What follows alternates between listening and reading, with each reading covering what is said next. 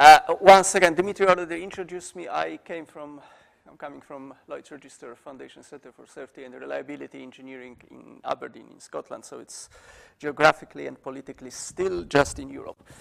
Um, okay, where I'm coming from, or in other words, uh, what is the motivation and challenges in, of the study?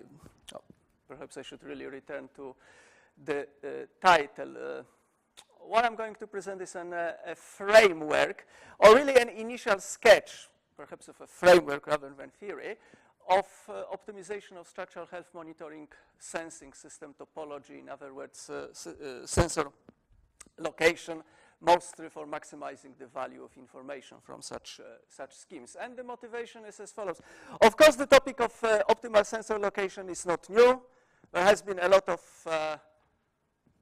frameworks proposed over a couple of decades now, mostly related to, or, or, starting from some information theoretic uh, approaches, mostly related to measurements of dynamic signals, so very suitable for, say, or, or related to strong to vibration-based uh, uh, damage detection method. They basically amount to placing sensors in such place, in such a place or places where you will not lose too much uh, vibrations for, from the modes of interest or frequency range of interest and, and uh, so on and so forth. So that's, that's, uh, that's okay. Those are useful approaches and depends what you want to, uh, to really achieve from your um, measurements. But first of all, uh, what about other types of sensors, right? SHM is not only about vibration-based. There are other types of measurements, not necessarily leading to any, any context of modal analysis and so on and so forth.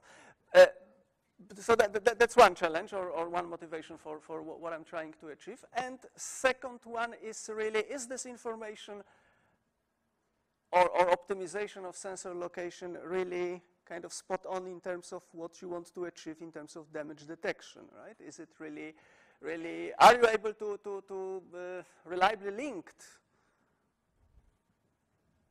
say information from uh, from uh, from vibration-based method to something which is uh, which is uh, related to to, uh, to damage as such.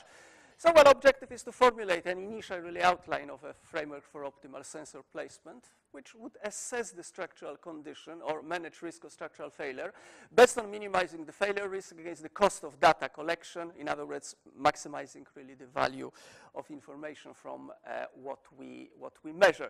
Uh, so, uh, okay, so uh, in damage detection, we want to, in SHM, um, excluding perhaps applications where you want to assess performance, but kind of uh, core quite often activity is try to detect damage. So we really need to look a little bit uh, in terms of how we really conceptualize, conceptualize damage in, uh, in uh, structural engineering. So there is reliability of uh, structural failure theory, which assumes basically the reliability of a structural system is a, function of reliability of individual members. Failure occurs where a mechanism is formed, perhaps plastic, perhaps brittle mechanism, due to local failures of one or more structural members or cross sections. Due to buckling of a member, for example, plastic hinge formation, cracking, uh, uh, fatigue crack, which leads to to, to, to, to, catastrophic consequences, uh, and so on and so forth. And this is illustrated here on the simple example of, uh, of a rigid frame with, uh, with hinges right? There are typically several probable modes how this structure can fail. It can fail in infinite number of, uh, of uh, uh, modes because hinge can suddenly form somewhere in the middle of the, of the column or so, but we, we, we normally exclude because those are uh, exclude such cases because they are typically uh, of uh, low probability. So there will be a number of, of possible failure modes for the system. I will denote them by capital F. Uh, this is event occurrence of an if failure mode. So for this frame, we will have so-called beam mode, so-called sway mode, and uh, so-called uh, combined mode where the structure folds itself because plastic hinges, let's assume it's a, say, steel structure, right, which is properly designed, it's ductile and so on. Uh, so uh, those modes will, uh, will happen when plastic hinges sufficiently large plastic hinges uh, to overcome redundancy in the system will form. And I will call small f event local failure of uh, member or cross section. Right? So here you have, for example, uh, F1 would be plastic hinge formed here in this corner, another F small f, F2 plastic hinge formed in another corner, and say F3 plastic hinge formed in the middle of the beam, and so on and so forth. Now, uh, probability of system failure as such is, uh, uh, is the union of probabilities of, of uh, all the relevant failure modes, right? So in this case, so in this case it would be a function of probability of this mode and this mode and this mode. And I was trying already to explain and highlight because these are known facts. Uh, probability, on the other hand, of each of the failure modes, each failure mode will depend where at the same time those local failures, in this case uh, plastic hinge formation, occur. Right? So they have to happen at the same time. So uh, what, would be my approach from, from how, is, how we normally conceptualize, I think uh, that, that, that's how we do. Uh, uh failure is to use structural health monitoring or damage detection schemes to update those probabilities of local failure. Uh, it links quite obviously to, to, to, uh, to Rytter approach to, to, um, uh, to, to damage detection, right? First, first point, damage detection as such, then localization, and then some form of severity assessment at level three. So, well, I interpret the severity assessment as updating, uh, as finding locally, local, uh, localizing damage and finding what is the extent in terms of uh, in terms of probability. So, data from monitoring systems can be used to update probabilities of local member cross-section failures. Here, p of small fj, Subsequently, these local failures probabilities can be used to update system failure mode, mode, probabilities and then overall system failure probabilities. So from here, obviously, we can find update PFA. Whether it's difficult and straightforward, that's, that's another story, right? Because there's, uh, those events are quite often non-exclusive and so on and so forth. So uh, there might be challenges there. And from those, we are able to find probability of failure. Otherwise, and I'm, I'm, approaching it from the point of view of quantifying the value of, uh, FSH, uh, of uh, SHM in, say, pre-posterior analysis. Otherwise, how are you going to, uh, to uh, quantify this value of uh, information from SHM if you don't know the probabilities of failure? Consequences modeling is another, another challenge, but it's sort of another thing. Really. So subsequently, those local probabilities can be defined to, uh, to uh, can be uh, can be used to update probabilities of uh, uh, mode, modes of failure and then overall system failure. Consequences cost can be assigned as a separate task to failures to calculate overall risk, including cost of monitoring, using, for example, posterior analysis. And then risk can be minimized via optimal sensor placement and or that's about, uh, the presentation is about uh, optimizing uh, sensor placement, but obviously a very similar approach can be used to opti for optimal scheduling of uh, monitoring, uh, even choice of monitoring system to use, and even uh, the algorithm you process your, your data with. And of course, all of those optimization problems may increase in complexity, but can be, can be treated together. So how would, it, uh, would such an optimization of system look, look like?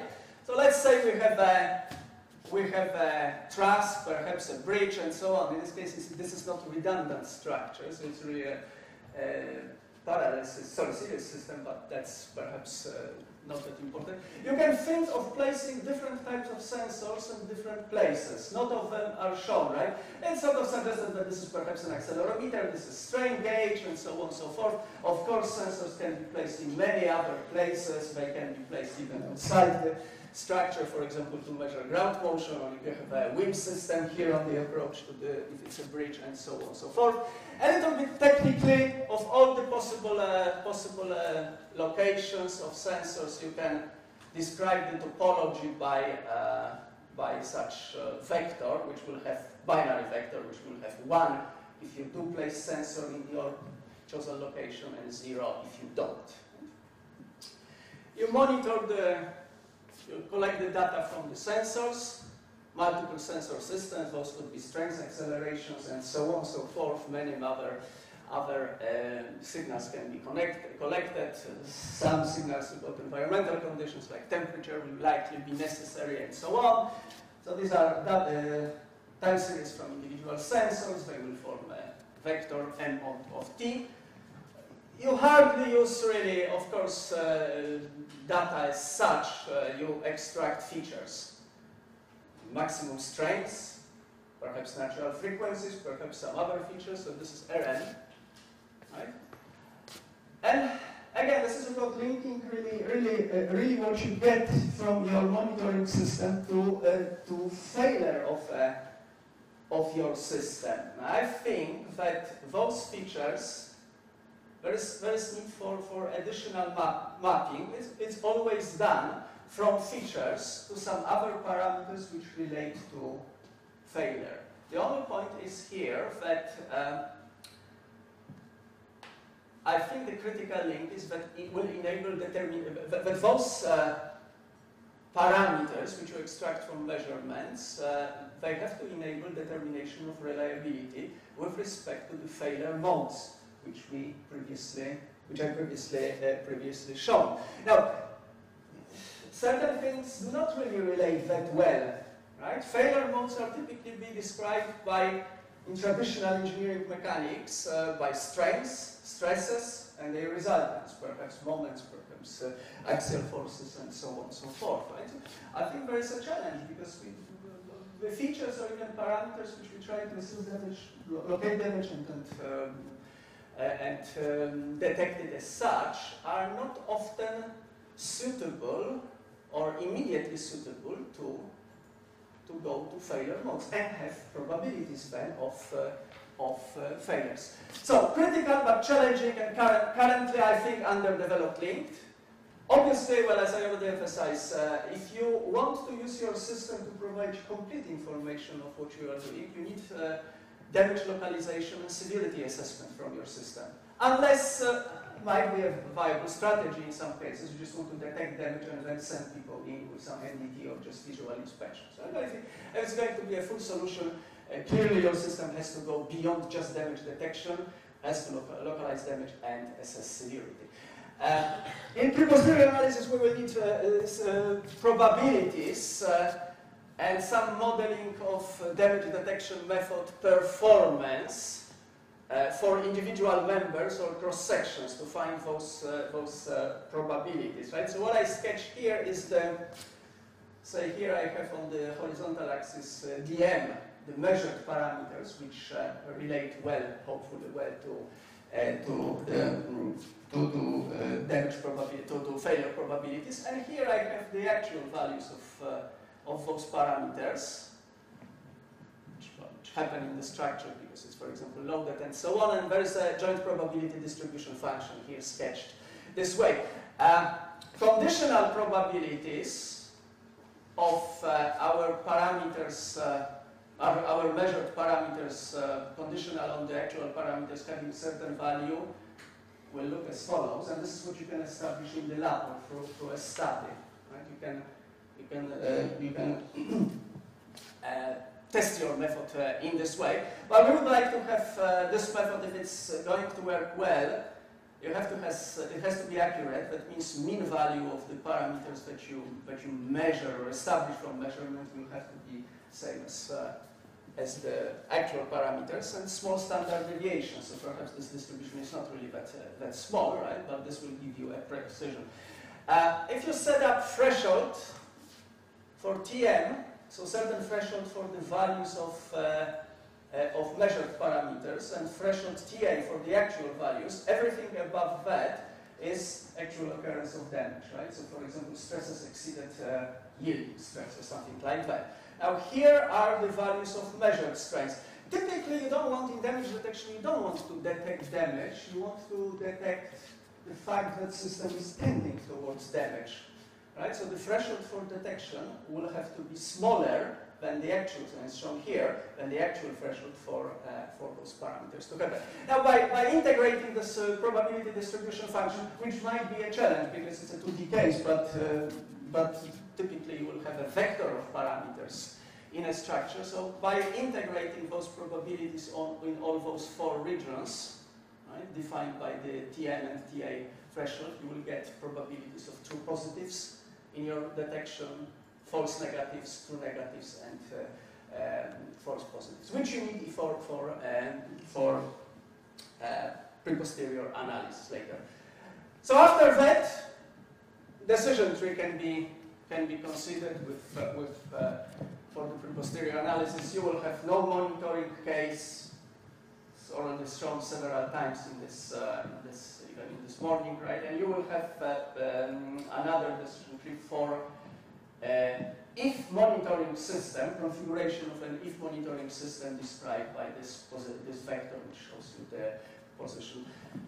Michael had a nice kind of stack of those, uh, those uh, decision trees related to different systems and so on. So imagine that there is another decision tree like that for, uh, for another configuration of a system and so on and so forth.